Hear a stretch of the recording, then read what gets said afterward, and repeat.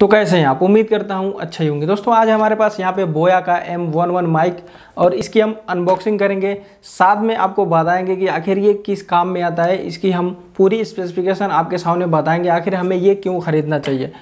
लेकिन उससे पहले मैं आपको बता दूँ, यहाँ पे एक और माइक आप देख पा रहे हो, जो कि हमारे कॉलर में लगा हुआ है। ये भी बोया का एम वन माइक है। तो ये एम वन और ये एम एम वन दोनों में फ़र्क क्या है, ये भी मैं आपको बताऊँगा। तो फटाफट से हम इसको अनबॉक्स कर लेते हैं। लेकिन अनबॉक्स करने से पहले आपको इसकी थोड़ी सी स्पेसिफिकेशन बता देते हैं, जो कि हमें बॉक्स के ऊपर ही देखने को मिल जाते हैं। तो यहाँ पे आप देख सकते हो smartphone tablet DSLR consumer camcorder audio recording किसी भी जगह आप इसको यूज़ कर सकते हो, जहाँ पे आपको लगता है कि हमें बेटर ऑडियो क्वालिटी चाहिए। दूसरी बात, यहाँ पे आप देख सकते हो ये लाइट वेट है, और नीचे लिखा गया कि ये छियासी ग्राम का है मतलब एट्टी ग्राम का मतलब बहुत ही ज़्यादा लाइट वेट अगर आप ब्लॉगिंग करते हो इस कैमरे इस माइक को लगा के तो आपको उतना ज़्यादा वेट फील नहीं होगा, क्योंकि कैमरा का वज़न ऐसे ही आपको वज़न लगता है, लेकिन अगर आप भारी सेटअप लगा लोगे तो आपका हाथ जल्दी दुखने लगता है। दूस, और आपको यहाँ पे ये भी दिखा दो नो बैटरी रिक्वायर्ड मतलब इसमें बैटरी नहीं लगता है।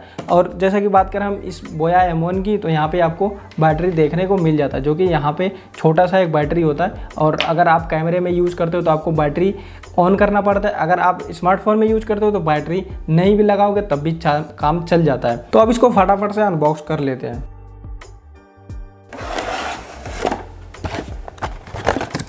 इसके अंदर और क्या है? वो यूज़र मैनुअल गाइड है। और सबसे अच्छी बात मैं आपको यहाँ पे दिखाऊँ, ये जो आप क्यू आर कोड मिलता है ये, इसको आप स्क्रेच करके इसके अंदर जो नंबर होता है सीक्रेट नंबर आप पता लगा सकते हो बोया के साइड पे जाके कि क्या ये प्रोडक्ट जेनुअन है मतलब ओरिजिनल है। तो आपको अगर विश्वास नहीं है तो आप ये इसको स्क्रेच करके और आप ये सीरियल नंबर डालोगे तो आपको पता लग जाएगा कि ये ओरिजिनल प्रोडक्ट है या फिर आपके पास फेक प्रोडक्ट भेजा गया है। तो यहाँ पे हम बात कर लेते हैं अपने मेन चीज़ की तो ये हमारा यूज़र मैनुअल अगर आप चाहो तो पढ़ सकते हो। ये हमारा वारंटी कार्ड और यहाँ पे आपको मिल जाता है सारे सामान। जैसे कि अगर हम बात करें ये वाला तो ये आप कैमरे के लिए यूज़ कर सकते हो। ये थोड़ा सा बड़ा, छोटा भी हो सकता है। और यहाँ पे एक और दिया गया है वायर जो कि आप स्मार्टफ़ोन में यूज़ कर सकते हो। और यहाँ पे आप, मिल जाता है जो कि ये स्मार्टफ़ोन के ऊपर आप इसको कस दोगे और इसके अंदर आप माइक लगा दोगे। और साथ में आपको मिल जाता है एक केस जिसमें आप अपने माइक को रख सकते हो सेफली अब हमेशा बॉक्स लेके तो घूमोगे नहीं तो इसलिए ये भी मिल जाता है जो कि काफ़ी अच्छा चीज़ है। अब यहाँ पे हम बात करें तो ये हमारा मेन प्रोडक्ट माइक जिसको हम बाहर निकाल लेते हैं, इसको रखते हैं साइड में। तो ये है हमारा माइक अब जा, आप देख सकते हो, देखो, इसके साथ आपको विंड शील्ड भी मिल जाती है। मतलब कितना भी तेज़ हवा क्यों ना चल रहा हो, आप इससे अगर रिकॉर्ड करोगे, ये लगा के तो आपको ज़्यादा नॉइस फील नहीं होगा। मतलब नॉइस को रिकॉर्ड नहीं करेगा नॉइस कैंसिल कर देगा। अब हम बात करें इस माइक को, इसको बाहर निकाल के तो आप देख सकते हो, ये माइक कुछ इतना बड़ा है। मतलब ये इतू सा और इसका जो मेन सिस्टम है यहाँ पे, ये कितना छोटा है, लेकिन ये इतना बड़ा है और फील भी हो रहा है। ये उतना वज़न नहीं है, लेकिन ये फील हो रहा है। यहाँ पे आपको जो वायर दिया गया केबल वो यहाँ पे लगेगा। और ये सारे जो छेद दिए गए हैं, यहाँ पे आप देख सकते हो। ये जो सारे छेद दिए गए हैं, यही काम करता है हमारे ऑडियो क्वालिटी को वेटर करने के लिए। अगर हवा चल रही है या फिर नॉइस ज़्यादा आ रहा है तो ये उतना ज़्यादा बाहरी आवाज़ को रिकॉर्ड नहीं करता है। तो यहाँ पे अगर आप बहुत ज़्यादा हवा चल रहा है तो इसका भी यूज़ कर सकते हो। अगर आप अंदर शूट कर रहे हो, जैसे कि मैं कमरे में हूँ तो आप केवल इसका इस्तेमाल कर सकते हो। कोई भी आपको दिक्कत नहीं होगा। अब बात करें हम यहाँ पे तो ये जो चीज़ है, ये यहाँ पे लग जाता है इस कुछ इस तरह से। अब ये आपको कैमरे में लगाने के लिए रेडी आप उसको लगाना है और उसके बाद कस देना है यहाँ से, ठीक है? इसकी हम ऑडियो क्वालिटी भी टेस्ट करेंगे और यहाँ पे ये जो चीज़ है, ये कुछ इस तरह से लग जाता है। यहाँ पे ये इसको हम लगा देंगे इस तरह से और ये लग जाएगा किसी भी जगह पे, चाहे आप लैपटॉप में रिकॉर्ड करना चाहते हो, कैमरे में मोबाइल में, कहीं पर भी आप इसका इस्तेमाल कर सकते हो, ठीक है? यहाँ पे दो केबल आपको मिल जाते हैं, जो कि अच्छी बात है। अगर बाई चांस ख़राब हो जाए तो दूसरे का भी यूज़ कर सकते हो। तो चलो अब हम इसको थोड़ा सा टेस्ट कर लेते हैं कि क्या ये अच्छे से काम कर पा रहा है कि नहीं। अभी तो आप इस वाले माइक से आवाज़ सुन रहे हो, लेकिन अभी थोड़ी देर में हम इस वाले माइक को लगा के अपने कैमरे पे, उसके बाद उससे हम रिकॉर्ड करने वाले हैं। अभी जो आवाज़ सुन रहे हो, वो इस माइक की नहीं है, वो आप डायरेक्ट मोबाइल के माइक से सुन रहे हो, लेकिन अगर हम इसको यहाँ पे लगा दें तो अभी जो आवाज़ आ रही है वो इस माइक से आ रहा है, क्योंकि मैंने अपने मोबाइल में इसको लगा दिया है। तो आप समझ ही सकते हो कि कितना ज़्यादा फ़र्क आ जाता है। एक छोटे से माइक को लगा के, कुछ ज़्यादा महँगा भी नहीं है। अगर आप खरीदना चाहो तो मैं लिंक डिस्क्रिप्शन में दे दूँगा। अब इसको हम कैमरे में लगा के चेक करते हैं। और इसको अपने कैमरे में लगाना कुछ बड़ी बात नहीं है। बस आपको ये जो दिया रहता है, इसको निकालना है और इसको यहाँ पे कैमरे के डायरेक्शन में करके आप इसको लगा सकते हो। आप सोच रहे हो कि यहाँ पे जो दिया गया है ये ये किसी भी डायरेक्शन में लग जाता है। टेंशन नहीं है। आपको इस तरह से लगा के यहाँ से कस देना है। तो अभी यहाँ पे देख सकते हो हमारा माइक जो है कैमरे पे लग चुका है, जो कि कितना छोटा सेटअप है। अगर कहीं पे भी आप ब्लॉगिंग करने जाओ तो किसी को भी कोई दिक्कत नहीं होगा। नहीं तो अगर बड़ा सेटअप रहता है तो लोग देख के बोलते हैं कि क्या कर रहा है। अब इसको अगर हम चाहें तो यहाँ पे लगा सकते हैं, लेकिन पहले हम इस तरह से रिकॉर्ड करेंगे। उसके बाद हम क्या करेंगे, ये विंड शील्ड भी लगा के रिकॉर्ड करेंगे, जैसे कि आप देख सकते हो कितना बड़ा है। तो अभी आप देख सकते हो हमने पूरा सेटअप कर दिया और यहाँ पे लग चुका है दोनों एंड पे, ये केबल और यहाँ पे हमारा माइक रेडी है। आप सोच रहे हो कि ये वाला मैंने क्यों ऑर्डर किया? जबकि ये थोड़ा सा महँगा आता है इस वाले से। तो यहाँ पे आप देख सकते हो कितना बड़ा वायर है।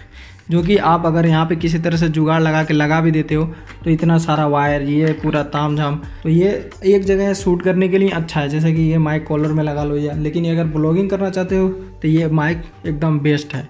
ये ब्लॉगिंग में उतना ज़्यादा अच्छा नहीं काम आता है। और ये उतना ज़्यादा अच्छा रिकॉर्ड भी नहीं कर पाता। लेकिन इसकी अगर हम बात करें तो काफ़ी ज़्यादा अच्छा रिकॉर्ड कर लेता है। तो अभी हम टेस्ट करने वाले हैं।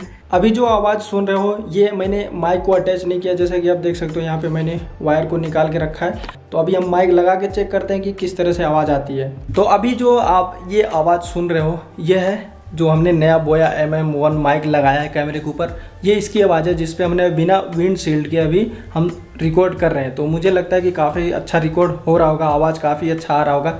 लेकिन अगर हम विंड सीट लगाते हैं तो क्या हमारे जो आवाज़ है, उसमें फ़र्क दिखता है कि नहीं? जैसे कि क्या होता है कि कभी कभी आवाज़ दबने लगता है, कम आने लगता है। तो उससे अगर हम लगा के टेस्ट करें एक बार कि क्या कुछ फ़र्क पड़ता है विंडशील्ड लगाने से या फिर विंडशील्ड नहीं लगाने से तो भी हम टेस्ट कर लेते हैं। तो फटाफट से विंडशील्ड लगा लेते हैं। अभी हम क्या करेंगे माइक के ऊपर फूकेंगे, जिससे कि क्या होगा कि नॉइस का पता लग जाएगा कि क्या ये हवा को ब्लॉक कर पाता है कि नहीं। तो डायरेक्ट बिना इसको लगाए हम पहले फूकते हैं। अब इसको लगाते हैं। तो अभी हमने विंडशील्ड लगा दिया है। अभी आपको आवाज़ का पता लग रहा होगा कि किस तरह से आवाज़ आ रहा है। क्या आवाज़ थोड़ी सी दबके आ रही है या फिर जिस तरह से बिना विंडशील्ड की आवाज़ आ रही है, उसी तरह सेम इस टाइम पे भी आ रही है।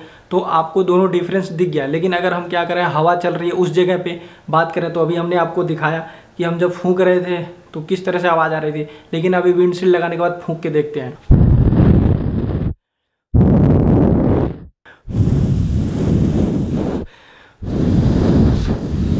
तो अभी आपने देखा कि मैंने कितना ज़्यादा ज़ोर ज़ोर से फूका, लेकिन आपको क्या फ़र्क लगा कि जिस तरह से बिना विंडशील्ड के हम शूट कर रहे थे, आवाज़ आ रही थी, उसी तरह से अब भी आ रही है।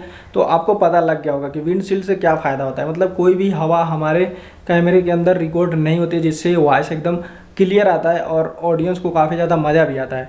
तो ये इसलिए मैंने ख़रीदा, बाहर जाने पे थोड़ा हवा हवा चलता है तो इसकी वजह से थोड़ा सा दिक्कत हो रहा था, आवाज़ बाहरी आवाज़ भी काफ़ी ज़्यादा रिकॉर्ड हो रही थी, लेकिन ये रहेगा तो काफ़ी ज़्यादा हेल्प होगी, बाहरी नॉइज़ जो है वो कम आएगा। तो इसलिए कभी भी अगर आप माइक खरीदने की कोशिश कर रहे हो, अगर आप खरीदना चाहो तो लिंक मैं डिस्क्रिप्शन में दे दूँगा। अगर ये खरीदोगे तो आपको दो फ़ायदे होंगे। पहली बात, आप इनसाइड भी शूट कर सकते हो आउटसाइड भी कर सकते हो। और ये एक बहुत ही छोटा सेटअप है। अगर आप इतने दूर से भी बोलोगे, जैसे कि देखो इतना दूर से मैं बोल रहा हूँ तभी आपको अच्छी आवाज़ आ रही होगी। लेकिन जो कॉलर माइक होता है, वो जितना नज़दीक रखोगे, उतना ही अच्छा आवाज़ आता है। लेकिन इस तरह के माइक में कोई फ़र्क नहीं पड़ता, अगर थोड़ा सा दूर भी रहे माइक फिर भी अच्छा आवाज़ आ जाता है। तो एक ही माइक से आप हर जगह काम चला सकते हो। ये माइक का यही फ़ायदा होता है। तो उम्मीद करता हूँ आपको अनबॉक्स और ये रिव्यू काफ़ी ज़्यादा अच्छा लगा होगा। मिलते हैं नेक्स्ट वीडियो में। तब तक के लिए आप अपना ख्याल रखें, अपने परिवार का ख्याल रखें गुड बाय